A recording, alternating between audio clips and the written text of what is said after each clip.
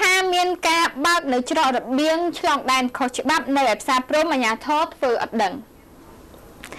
ក្រមប្រជាប្រដ្ឋបានឲ្យដឹងថាមានការលបលួចបើកច្រករបៀងខុសច្បាប់មួយកន្លែងមានទីតាំងនៅខាងជើងចម្ងាយប្រមាណ100ម៉ែត្រពីច្រកទ្វារអន្តរជាតិព្រំស្ថិតក្នុងភូមិផ្សារព្រំឃុំស្ទឹងកាច់ស្រុកសាឡាក្រៅដែលជាប់ព្រំដែនថៃតែអាជ្ញាធរហាក់ដូចជាពុំមានវិធានការទប់ស្កាត់នោះឡើយ តាមសេចក្តីរាយការណ៍ឲ្យដឹងថានៅច្រកព្រំដែនលួចលាក់នោះគេប្រើស្ពានឈើទទឹងជិត1ម៉ែត្របណ្ដោយប្រហែល50ម៉ែត្រឆ្លងដែនដើម្បីឆ្លងដែនចាហើយគេបើកឲ្យចេញចូលដោយសេរីមិនចាំបាច់មានលិខិតស្នាមអ្វីនោះឡើយដែលគ្រាន់តែជិះឡានពីទឹកដីថៃមកឈប់នៅទីនោះហើយដើរឆ្លងតាមស្ពានមកដល់ដីខ្មែរនិងមានឡានកាស៊ីណូរងចាំទទួល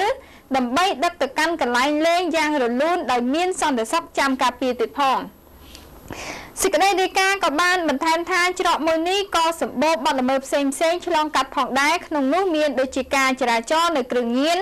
និងការនាំមនុស្សឆ្លងដែនខុសច្បាប់ជាដើមប៉ុន្តែអ្វីដែលសំខាន់នោះគឺការបាត់បង់ចំណូលថវិការដ្ឋដ៏ក្រាស់ក្រែល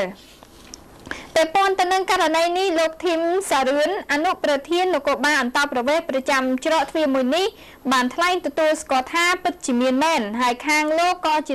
ខាងលោកនោះគឺជាអ្នកគ្រប់គ្រងតែខាងខេត្តគេជាអ្នកបើកគឺតាំងតែពីអំឡុងឯកឧត្តមអ៊ឺឈៀនធ្វើនៅអភិបាលខេត្តម្កម្លេះ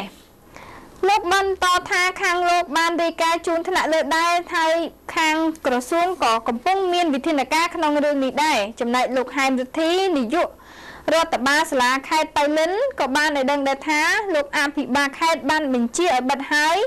ហើយបើនៅតែបន្តបើកទៀតលោកថានឹងចាំចុះទៅត្រួតពិនិត្យដោយផ្ទាល់